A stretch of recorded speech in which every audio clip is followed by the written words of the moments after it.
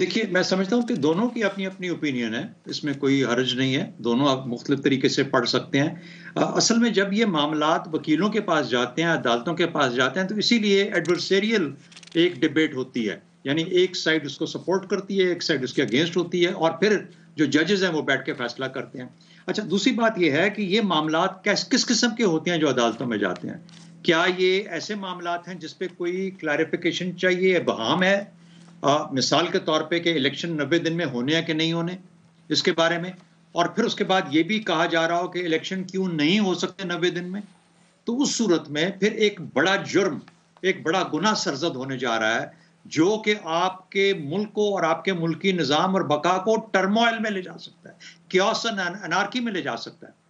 वो अल्फाज जो कि इलेक्शन कमिश्नर ने यूज़ किए, कहा गया कि मुझे काम नहीं करने दिया जा रहा इसलिए क्योंकि मैं हाँ। उस तो अपनी जो फरीज़ा है उसको निभा नहीं पा सकता, निभा नहीं कर पा रहा। क्या फरीज़ा है? इलेक्शन कराने का। क्यों इलेक्शन कराने का? क्योंकि कानून कहता है कि 90 दिन में इलेक्शन किया जाए। इसका मतलब कानून की हैसियत मुसलमा है, मौजूद है। क्या हमारी हुकूमत, हमारा निज़ाम, हमारा तमाम स्ट्रक्चर इस हद तक गिर चुका है?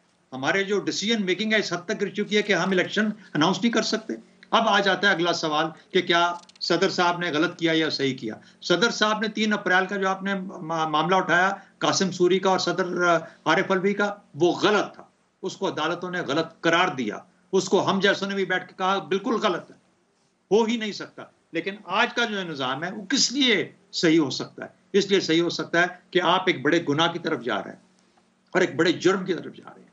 जब आप इंटायरली अनकॉन्स्टिट्यूशनल हो जाएँगे, आप इलीगल हो जाएँगे आपका कानून इलीगल हो जाएगा। हाँ। तो जो कानून अप्लाई करने वाले हैं, जो लोग यहाँ मौजूद हैं, वो सब के सब जब उनकी कोई हैसियत नहीं रहेगी, तो इस मुल्क में अनार्की आएगी आएगी।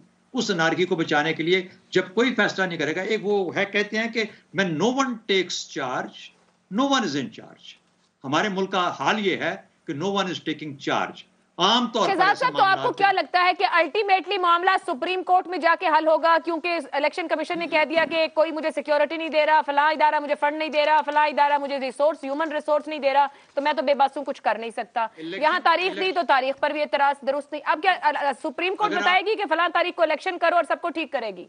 अगर आप सलाह करना चाहते हैं लोगों के साथ और पूछेंगे कि क्या आपके पास ये सब कुछ है, वो कोई नहीं देगा। लेकिन जो ही आप फैसला करेंगे, आप एक कॉन्स्टिट्यूशनल ऑफ़िस हैं, आप कहें कि फलानी तारीख को वो तारीख करो जो आपका दिल करता है। आप वो ना करो जो इमरान खान कहता है, वो ना करो जो हुकूमत कहती है, वो करो जो आपका दिल और आपका मन कहता है कि ये एक्चुअली पाकिस्तान के हक में बेहतर है। उस तारीख का फैसला करो। Let it be June, let it be August, let it be July. Announce करो डेट को। जो ही अनाउंस करोगे, हर जो बाकी इदारे हैं, उनकी ज़िम्मेदारी बन जाती है कि आपको सपोर्ट करे। अगर उसके कोई खिलाफ खड़ा होता है तो वो आईनी तौर पर उसके खिलाफ आइन के खिलाफ जा रहा है। किसी की मजाल नहीं हो सकती कि। आइन के खिलाफ जाए। लेकिन जहाँ आइन को ही आप मुबहम कर बना दें और कोई रैशनल उसके अंदर से कोई लॉजिक ना क्रिएट कर पाए कुछ ना उसको बगैर विदाउट रैशनैलिटी आप उसको अपनी मर्ज़ी के मुताबिक जो मोड़ना-तोड़ना शुरू कर दें, तो फिर बदकिस्मती से वही होगा जहाँ हम बैठे हैं। लेकिन मैं ये कहता हूँ कि और इससे बेहतर था कि कोई जज कहता या जर्नैल कहता, शुक्र है एक आईनी दफ्तर ने ये फैसला किया और ये कहा कि हाँ, इस तारीख को होना चाहिए। अब ले जाइए अदालतों में, वो गलत है या सही है, शायद अदालतें ही आपको कहेंगी कि इस तारीख को करो आप।